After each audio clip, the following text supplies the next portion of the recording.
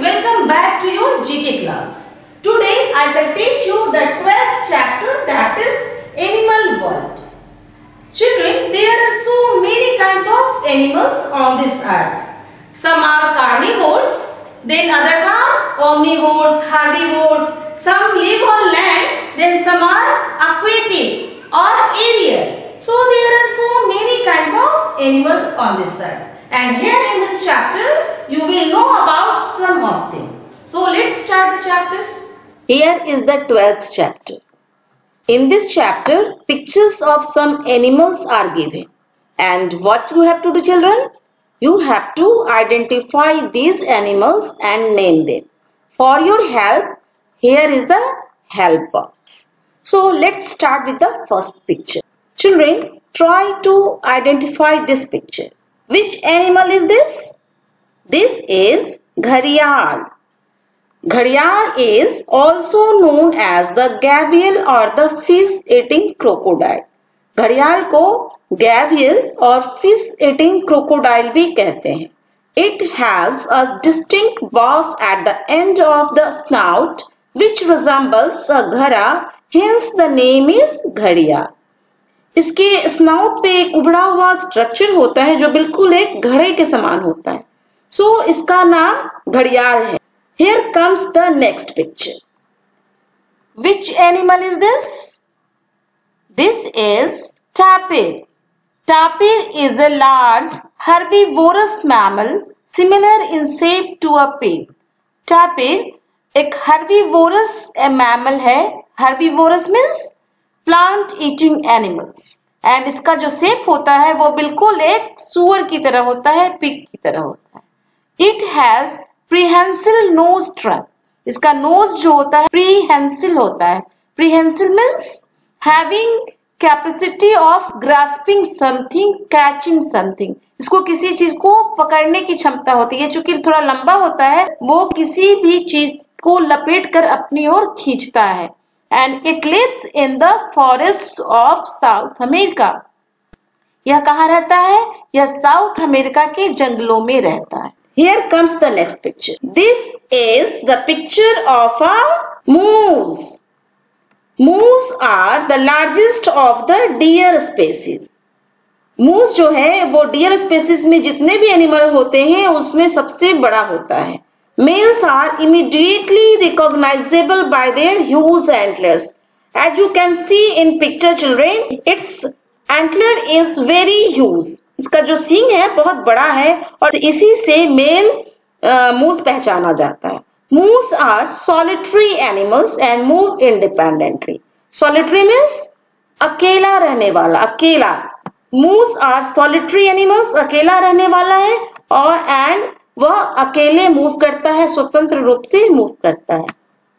Now move on to the next picture which animal is this it is looking like a bear and its name is wolverine wolverine gulo gulo also referred to as the glutton इसका जो Wolverine है, बिल्कुल छोटे से bear के समान दिखता है और इसका साइंटिफिक नेम है गुलो गुलो।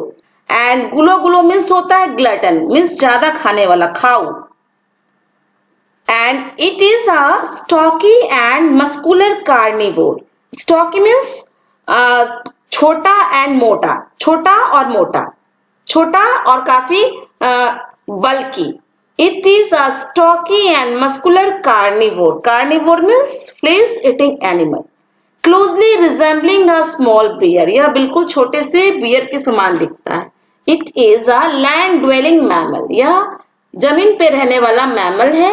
It can kill prey many times larger than itself यह अपने से काफ़ी बड़े प्रे को, शिकार को मार सकता है। Now move on to the next picture which animal is this its name is sloth Sloths are arboreal mammals known for the slowness of movement. Sloth क्या है? आर्बोरियल मैमल्स है। Arboreal means living animals living in trees so यह trees में रहने वाला, पेड़ों पर रहने वाला मैमल है और यह अपने धीरे मूवमेंट के लिए स्लो मूवमेंट के लिए जाना जाता है। They spend most of their life hanging upside down in the trees of the tropical rain forest of South America and Central America ये अपना ज़्यादा समय कहाँ बिताता है? ट्रीज पर उल्टा लटके हुए। उल्टा हमेशा लटका रहता है और यह कहाँ पाया जाता है? साउथ अमेरिका और सेंट्रल अमेरिका के फॉरेस्ट में यह पाया जाता है। Now next picture is which animal is this it is looking like lizard and its name is gecko. Geckos are small lizards found in warm climate throughout the world यह एक छोटा सा लिजार्ड है, छिपकली है, जो कि पूरे वर्ल्ड में जहाँ जहाँ वार्म क्लाइमेट होता है, गर्म क्लाइमेट होता है, वहीं पे यह पाया जाता है।